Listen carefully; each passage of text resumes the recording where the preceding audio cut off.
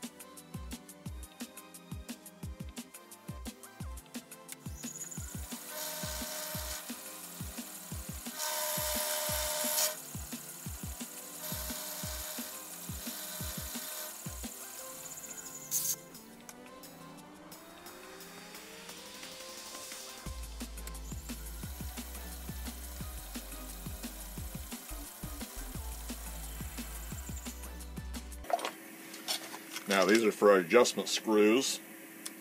On uh, there's two on each one. And since we haven't come to final dimensions, I could wait to do these later. But I'm going to go ahead and drill the holes now. I'm probably not going to worry about tapping them, and I'm definitely gonna, not going to worry about countersinking them until we get the uh, until we get the outer contours done and get them smoothed up.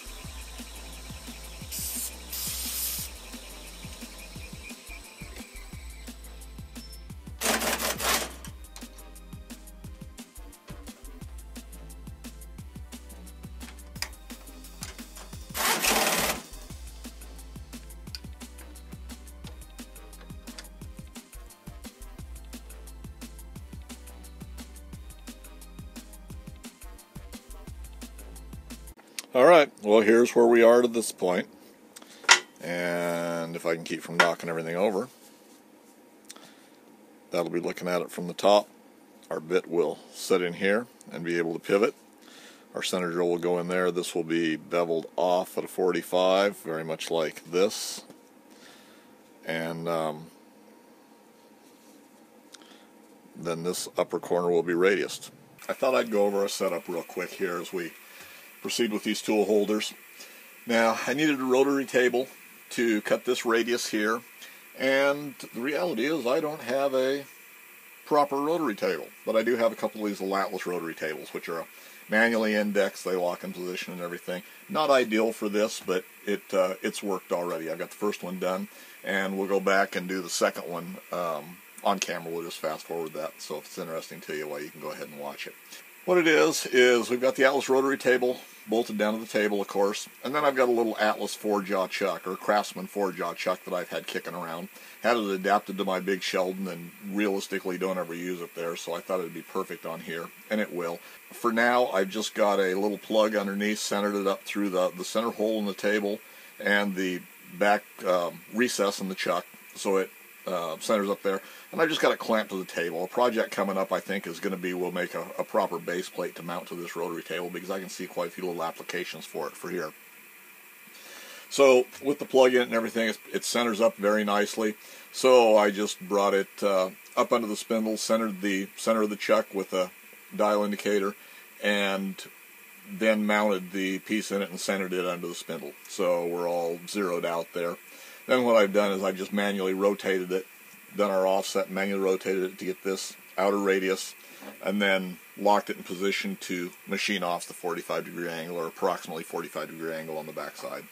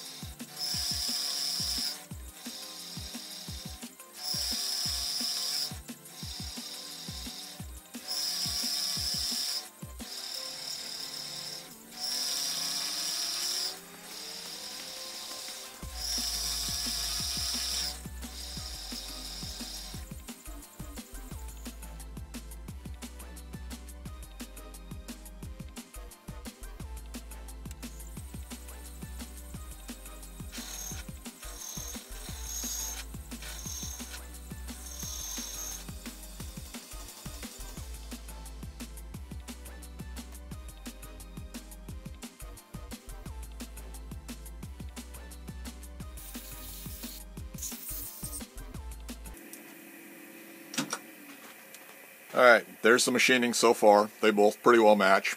We're down well below the floor. This will get cut off, I think, just under half an inch of support there. The rest of this will be turned for shank. What I'm going to do is, and we've got them both do the same thing, there'll be a fair amount of hand finishing on them, but most of the machining is going to be just fine for it. So what I'm going to do next is I'm going to take it back over the bench, get some layout fluid, deburr it, get some layout fluid on it, and then I'm going to just make some marks, do some layout, and we're going to cut out part of this waste on the bandsaw. I've got to build a little stub arbor to go in there to center it up and drive it off of the off of the headstock end. We'll put a uh, live center in the back end, and then we'll turn our shank. So now here's our setup to turn the shank, and we had it blocked out to this point before. Now I've taken it to the bandsaw, just cut off a little bit of this excess material just so we don't have to turn as much. This is a ragged cut anyway because we're doing interrupted cuts all the way around and have to do interrupted cuts around this edge to, to get where we want to be. So it's uh, it's kind of rough, so we just got rid of that extra material. Here's the setup. I turned just a piece of 3 8 rod to give me a pilot to match our 5 16 hole in the middle. And it's going to set on there just like that. And we can run a tailstock a live center up into the back end of it. And get that, we won't secure it yet. So we're still floating. We have to have a way to drive it. So I've already drilled the uh, 1032 holes for uh, holding our tool bit in place. And I've just taken a piece of scrap and used one of these holes, set it up in there, and tighten it down. And we effectively have a drive dog there. And I'm just shifting between a couple of high-speed steel bits, interrupted cuts like this, why it'd tear up carbide real quick. So all I'm going to do is uh, just start roughing it out, and we've got our drive dog there.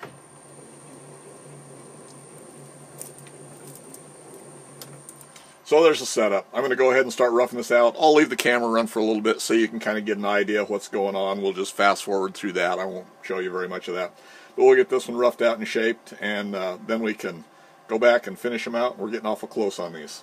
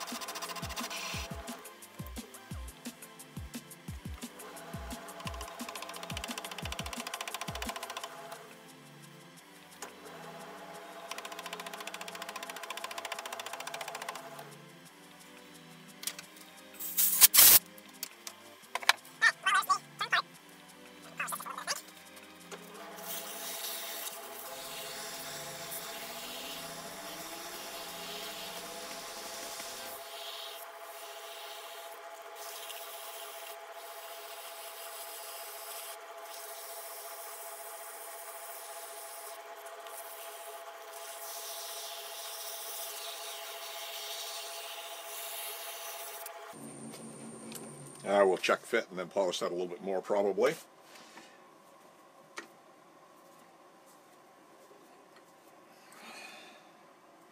There's our part. We'll go ahead, we'll check the fit in the spindle or in the uh, tailstock, and if we need to, we'll polish that a little bit more before we take our drive dog out because we can put it back in and it's repeatable.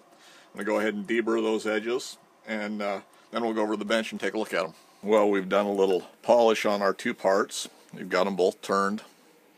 This is the way they look. And the way these set up, let's go ahead and um, install our pivot pins in them while we're right here. Since I've already got everything ready to do that.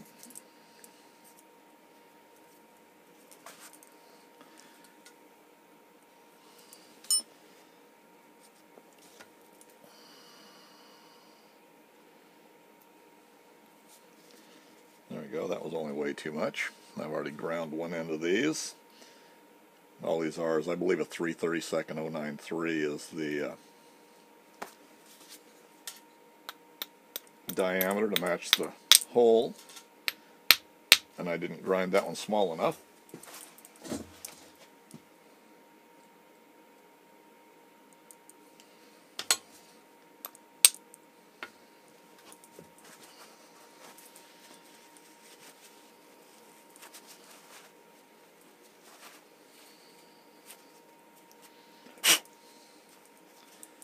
Set in there just like that, so we've got a little pivot pin on them.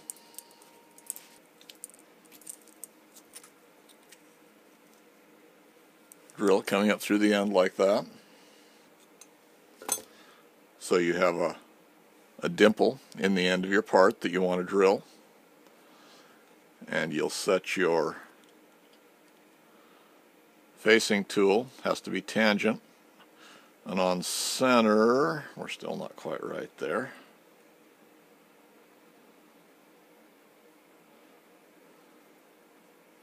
And that will face off your material. So other than to install my set screws, tap my holes there to retain the center drill. This is not the center drill I'm going to use. We'll put a regular machine screw drill in there. And then we'll uh, have to take our tool bits, we'll cut them to the proper length, and we'll have to sharpen them. To sharpen them, I'll get out the little Quorn tool and cutter grinder, and we'll uh, do some work with those, and this project will be done. With the exception of, we still have to put our put our name on the tops of them there, and uh, there again another one of those that will eventually blue, I'm sure. So anyway, once we get them set up, why we'll take a look at them and uh, see how it's going to work. As always, guys, if you find something useful here, why you might want to hit that like. If you haven't hit the subscribe button already, I'd appreciate it if you did. And any comments or suggestions, leave them in the comments section for me below. And as always, thanks for taking the time to watch.